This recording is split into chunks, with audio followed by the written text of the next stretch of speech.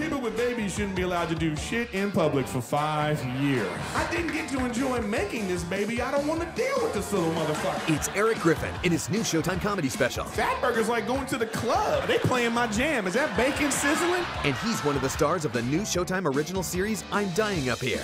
And don't have this picture either. From here to here, you could be a centaur for all I fucking know. When you said bring a saddle, I had a whole different, you know. It's Erik Griffin, The Ugly Truth. Premieres Friday, July 7th at 9 on Showtime.